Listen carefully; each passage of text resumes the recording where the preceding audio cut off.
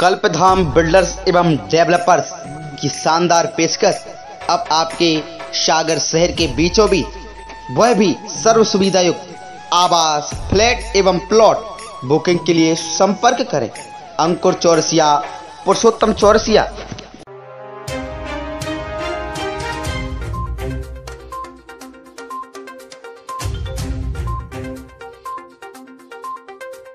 के सागर ज़िले के सुर्खी थाना अंतर्गत घाना गाँव में एक सात साल का बच्चा शाम से लापता था, जिसके बाद उसका शव रात करीब 10 बजे कुएँ से निकाला गया।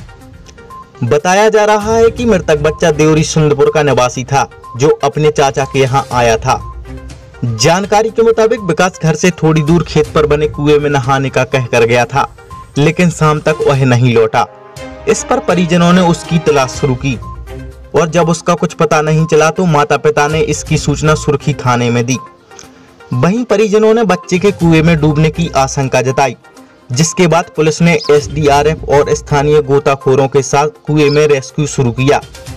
इस दौरान बगैर मुंडेर के गहरे कुएँ में बच्चे को ढूँढने में काफ़ी परेशानियों का सामना टीम को करना पड़ा। करीब तीन घंटे की मशक्कत के बाद उसका शव बरामद हो सका। खबर एक्सप्रेस न्यूज़ की bureau report.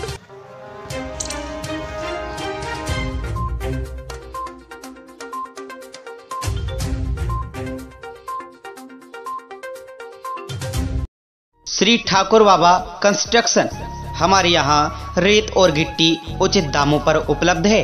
रेत और गिट्टी के लिए संपर्क करें हर सिनेमा चांदपुर वाले। हमारा पता है मेन बस स्टैंड, रहली, देवरी रोड चांदपुर। अधिक जानकारी के लिए संपर्क करें इक्यानवे इकतीस पच्चीस संतानवे छत्तीस।